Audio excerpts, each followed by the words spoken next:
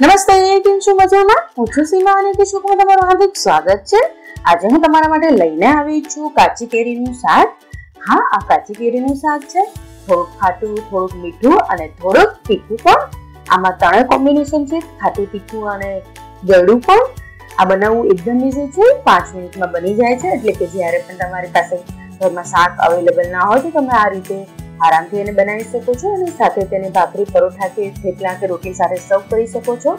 તમે આને ટિફિનમાં પણ આપી શકો છો. સાથે સાથે આ ત્રણ દિવસ સુધી ફ્રીજમાં સ્ટોર પણ કરી શકો છો. તો ચાલો જલ્દીથી સ્ટાર્ટ કરીએ આજની આ રેસીપી કાજુ શાક જો તમે અમારી ચેનલમાં નવા નવા હોય અને અમારી ચેનલમાં સબસ્ક્રાઇબ ના કર્યું હોય, તો સબસ્ક્રાઇબ કરી લેજો અને બાજુમાં રહેલા બે લાઇકન એટલે કે ઘંટડીને દબાવવાનું ના ભૂલતા.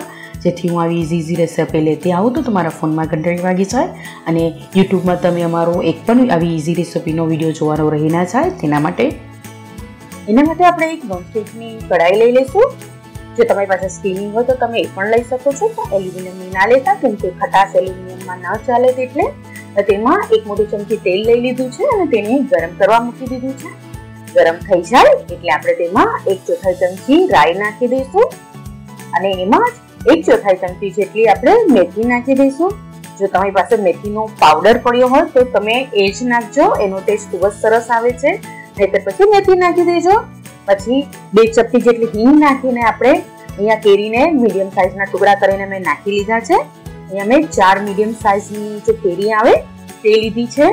તમે તમારા ટેસ્ટ પ્રમાણે જેટલું શાક કરવું હોય, એટલું તમે લઈ શકો છો. અહીંયા આપણે ફ્લેમ મીડિયમ જ રાખવાની છે. હવે સારી રીતે મિક્સ કરી લીધા પછી આપણે તેને ઢાંકી દઈશું અને તેને લો ફ્લેમ ઉપર જ બે મિનિટ સુધી ચડવા દઈશું.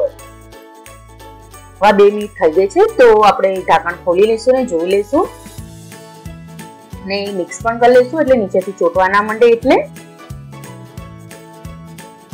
હવે મિક્સ થઈ ગયું છે, તો આપણે એમાં ગોળ નાખીશું.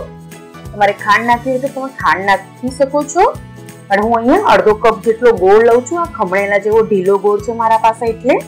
તમે ગોળ જો આખો હોય તો થોડો ખમણી લેવો નાના ટુકડા હોય તો ચાલે, ઓગળી જશે અંદર. હવે એને આપણે મિક્સ કરી દઈશું. અને જોશું વધારે ગોળની જરૂર છે કે નહીં. અહીંયા હું ટોટલ અડધો કપ જેટલો ગોળ યુઝ કરીશ.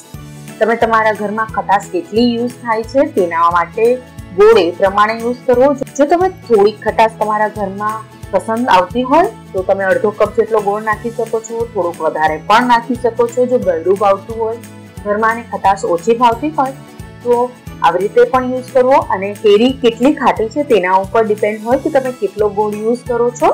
એટલે ચાખી લેવું અને થોડુંક મીઠું પણ આપણે નાખી દઈશું એમાં. હવે મિક્સ કરી લીધા પછી આપણે તેને પાછું ઢાંકીને બે મિનિટ સુધી ચડવા દઈશું અત્યારે ફ્લેમ થોડીક વધારજો, એટલે મીડિયમ ટુ લો જેટલી એટલે થોડીક જ વધારીને કરવાની છે. હવે બે મિનિટ થઈ ગઈ છે તો ઢાંકણ ખોલી લેશું અને ચેક કરી લેશું. થોડોક રસો તમારો ઘાટો થઈ ગયો હશે અને આ ઠંડુ પડે એટલે પણ પાછું ઘાટું થઈ જાય. હવે આમાં બીજા મસાલા આપણે નાખી દઈશું. તેમાં આપણે એક ચોથાઈ ચમચી કરતા થોડીક વધારે લાલ મરચું નાખી દઈશું. તમે તીખા જેટલી જોઈતી હોય પ્રમાણે લાલ મરચું નાખવું એક ચોથાઈ ચમચી જેટલું આપણે ધાણા જીરું નાખી દઈશું. એક ચોથાઈ ચમચી કરતા થોડુંક ઓછું ગરમ મસાલો પણ નાખશું અને એક ચોથાઈ ચમચી જેટલી હળદર પણ યુઝ કરશું. હવે તેને સારી રીતે મિક્સ કરી લીધા પછી આપણે તેને ચડવા દઈશું. એક મિનિટ સુધી ચડવા દેવાનું છે. જાજી ચડવા નથી દેવાની જરૂર.